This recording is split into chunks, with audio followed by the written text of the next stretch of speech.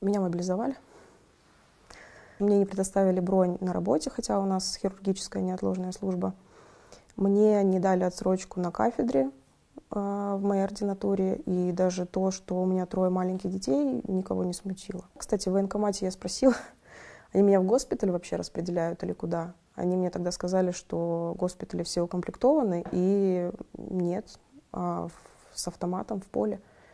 И я тогда так удивилась и посмеялась. Я говорю, вы что, гоните, ребят? И, и, ну, то есть я поняла, что мои дети останутся сиротами, в прямом смысле этого слова. Мы пытались вот эти действия беззаконные против меня каким-то образом оспорить, обращались в правозащитные организации, в администрацию города Омска, и присылали президенту даже, и Володин даже что-то ответил.